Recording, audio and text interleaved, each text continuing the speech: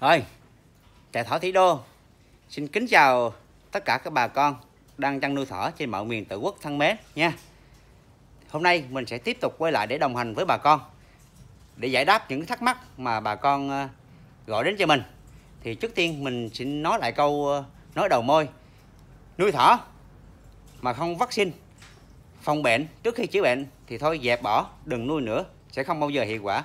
Đừng để con thỏ bệnh rồi mới chữa thì coi như phá sản. Nghe các bạn nghe. Đó là câu nói đầu mơ của mình. Thì hôm nay mình sẽ quay lại với tất cả các bạn để chia sẻ một cái nội dung cũng rất là đơn giản thôi. Nhưng mà thật sự nếu mà không chia sẻ thì tất cả các bạn sẽ không biết. Cho nên mình xin mạo muội chia sẻ. Những ai biết rồi thì thôi, không cần coi hoặc là coi mà im lặng. Còn những ai chưa biết, coi mà không hiểu thì gọi điện cho mình. Nhắn tin Facebook, Zalo hoặc là comment video bên dưới để mình sẽ trả lời cho tất cả các bạn à, à, hiểu hơn về vấn đề này. Thì hôm nay mình sẽ chia sẻ để cho bà con biết về một số vấn đề này. Đó là vấn đề tại sao con thỏ đang có bầu chưa tới ngày ngày đẻ mà rụng lông lộn mà đã nhổ lông rồi. Thì cái trường hợp này nó rất là hy hữu. Cho nên hôm nay mình sẽ chia sẻ cho tất cả các bạn kỹ lưỡng hơn. Rồi mời tất cả các bạn theo chân mình để lắng nghe cái nội dung mình chia sẻ hôm nay. Thì một số các bạn gọi điện đến cho mình á hỏi là tại sao anh ơi tại sao em phối con thỏ rồi? Em phối được cũng 15 ngày rồi 12 ngày rồi hoặc là à, tất cả những ngày trong tháng rồi đó mà chưa tới ngày mà tại sao nó lại đi nhổ lông làm lo lắng sợ sệt ăn ngủ không yên? Có một số một số bạn nuôi nhiều thì không sợ còn một số bạn nuôi ít vài con đôi khi lo lắng mà đúng thiệt rất là lo lắng hồi xưa mình cũng vậy mình nuôi hai ba con á mà phối rồi mà mà đợi đến ngày đẻ hoài là rất là lo lắng ăn ngủ không được. Thì hôm nay mình sẽ chia sẻ cho tất cả các bạn như thế này.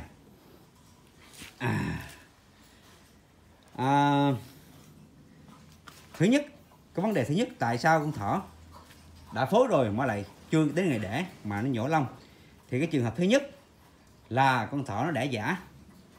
Nó chữa giả các bạn nó chữa giả nó lên giống một lần rồi nhưng mà chưa đúng nước, trứng chưa rụng phối, nó không đậu, thì cái hiện tượng này nó để, nó nó nó chữa giả. Thì nó chữa giả thì nó sẽ có cái hiện tượng là nó tưởng đâu nó có bầu thiệt và nó cũng nhổ lông ra để nó muốn sinh sản con. Nhưng mà thiệt ra là không phải. À, đó. Cái thứ hai nữa. Con thỏ nó có thai, nhưng mà nó có cái hiện trạng là đẻ khó, hoặc hoặc là đẻ non thì nó cũng có thể là nhổ lông trong thời gian chưa chưa chưa đến ngày đẻ. Đó. Thứ ba, thời tiết quá lạnh hoặc là thời tiết quá nóng làm cho cái bầu thai con thỏ nó nó lớn không đều. Nó cũng xảy ra cái chuyện nhổ lông. Đó. Cho nên, cái vấn đề này có đáng lo ngại hay không?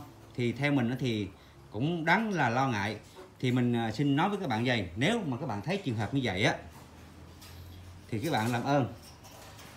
Các bạn học cách khám thai cho mình trước tiên. Trước tiên, các bạn khám thai coi chính xác con thỏ này, nó đã có thai chính xác hay chưa? Đó, nếu mà khám thai mà đã chính xác rồi á, thì thôi kệ nó. Nó thích làm vậy làm tới ngày nó cũng đẻ thôi.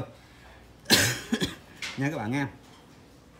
Đó cho nên là các bạn cũng đừng à, có lo, chỉ cần các bạn khám thai thôi. Nếu nó đã có thai rồi, thì các bạn nó nhỏ ngày nào kệ nó, tới ngày 30 ngày nó cũng đẻ thôi. Còn trường hợp, còn một trường hợp nữa, con thỏ nó nhổ lông, là nó có triệu chứng lên giống lại các bạn. Có nghĩa là lần đầu mình phối rồi, nó tưởng đâu là đậu rồi gọi là gọi là chữa giả. Nó cứ nhổ lông, nhưng mà trong thời gian nó nhổ lông đó là trong thời gian đã lên giống lại. Cho nên các bạn, nếu thấy trường hợp đó thì trước tiên phải khám thai cho mình. Nếu trường hợp nó đã có thai rồi thì thôi. Còn nếu chưa có thai thì các bạn làm ơn, bắt nó lên kiểm tra lại cái bộ phận sinh dục nó còn nó lên giống hay chưa. Thì các bạn sẽ tiến hành mình phối lại. Nghe các bạn nghe. Còn trường hợp, còn cái trường hợp nữa là con thỏ đã có bầu rồi và đã tới ngày đẻ rồi, nhổ lông quá trời rồi. Nhưng mà nhưng mà không đẻ quá ngày. Không đẻ nghe các bạn. Thì bắt buộc các bạn phải làm gì? Thì cái này mình đã từng nói cho các bạn rồi.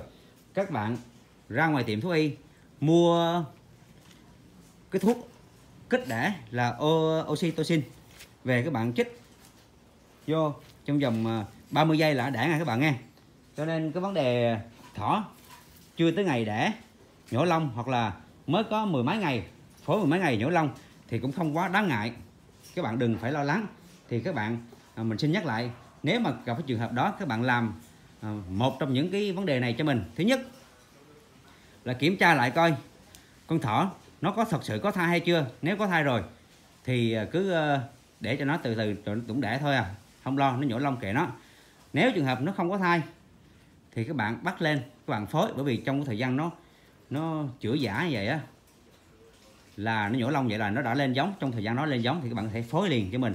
Đó cái trường hợp thứ ba nếu mà à, nó đẻ nó tới ngày đẻ rồi có thai rồi tới ngày đẻ rồi mà mà không đẻ nhổ lông mà trễ ngày trễ qua hai hoặc ba ngày thì các bạn có thể can thiệp cái thuốc uh, kích kích đẻ là oxy oxytocin nha các bạn nghe đó thì hôm nay mình gỡ rối cho, cho tất cả các bạn biết là tại sao con thỏ nó nhổ lông mà chưa tới ngày đẻ thì để cho các bạn yên tâm, chăn nuôi không không có vấn đề gì, lo lắng ngay các bạn nghe rồi, ok, mình xin kết thúc video tại đây và hẹn gặp lại cho tất cả các bạn những video lần sau.